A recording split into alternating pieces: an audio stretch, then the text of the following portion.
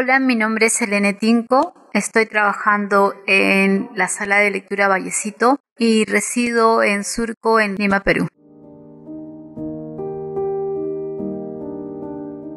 Bueno, la verdad es que creo que como a todos, en una primera instancia la pandemia nos hizo sentir inmóviles, paralizó muchas cosas, pero inmediatamente tomamos la decisión de, de seguir realizando lo que nos gusta lo que veníamos haciendo, que es fomentar el hábito de la lectura en niños y jóvenes y sabedores de que hay normas y reglas en esto. Adquirimos una plataforma digital que es Makemake, que es una biblioteca digital muy completa que tiene los mejores libros eh, de editoriales bastante prestigiosas y entonces comenzamos a hacer clubs de lectura.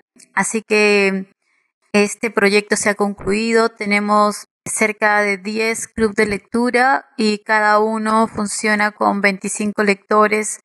Esto es totalmente gratuito y los libros que incluso se ha expandido mucho más porque eh, soy representante de esta biblioteca digital acá en Perú y se está abriendo una sección para Perú, una sección peruana de literatura, cosa que la biblioteca digital no tenía. Tenía libros de Chile, tenía libros de Argentina, Colombia, es una biblioteca que llega a toda Latinoamérica y parte de Estados Unidos, pero no tenía una sección peruana y esa era un poco mi mm, sentía de que tenía que tenerla y trabajamos mucho en eso y estoy haciendo la selección. Estoy muy contenta de hacer la selección para que tengamos dentro de esta biblioteca la sección peruana. Están los libros de mm, diversas editoriales, de diversos autores y prontamente inauguraremos la sección peruana de Maquemaque.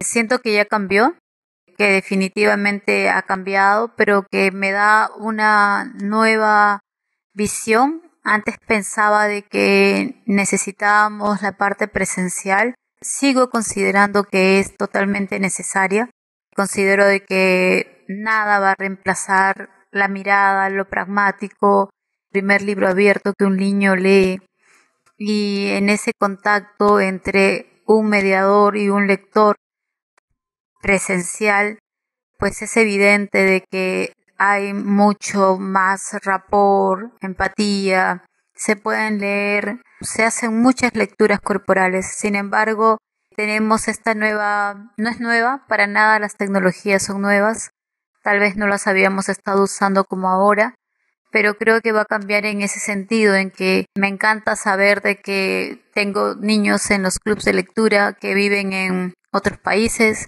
tengo niños leyendo en un mismo círculo de lectura que están de repente en la selva, otros están en Cusco y otros en Lima, y entonces es muy rico también eso, ¿no? Saber de que tanto lo presencial como lo virtual pueden ir de la mano, pueden ir de la mano y formar más lectores aún. Creo que un mediador experimentado, para mí lo primero es un mediador experto con mucha experticia, que pueda seleccionar buenos libros, conocer los niveles de lectura de, sus estudiantes, sus gustos, sus preferencias, de sus lectores, eh, trabajar mucho la palabra, si no hay libros, la conversación. Recordemos de que todo esto se inició con un grupo de hombres alrededor de un fuego hablando sobre cuestiones filosóficas, cosas que no entendían y no comprendían y de ahí nace un poco también la literatura y el arte de contar. Entonces, yo creo que mm, si vamos a estimular a niños y jóvenes, pues la palabra es ya sea la palabra oral, la palabra escrita, ya sea el escribir. Creo que es también importante poder este, acercar a los jóvenes y niños a todas las actividades culturales, a todas las artes en general. Esto va a poder generar en ellos que cuando lean puedan hacer intertextos. Eh, eso me parece básico. Que se vinculen, se vinculen a las expresiones artísticas, que tengan la suerte y la posibilidad de tener un mediador, ya sea un maestro, su padre, un amigo, que cuando les dice con apasionamiento que este libro es bueno, que intenten leerlo, que, que comiencen por aquello que les gusta, aquellos textos, que no sientan de que, de que necesariamente tienen que leer los clásicos, sino también que hay lecturas intermedias y que la lectura tiene también diferentes capas y que pueden ir leyendo algo que les gusta y luego ir avanzando en sus lecturas, ¿no?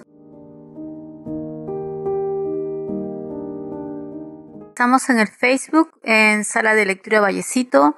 También tenemos el Instagram, Sala de Lectura Vallecito.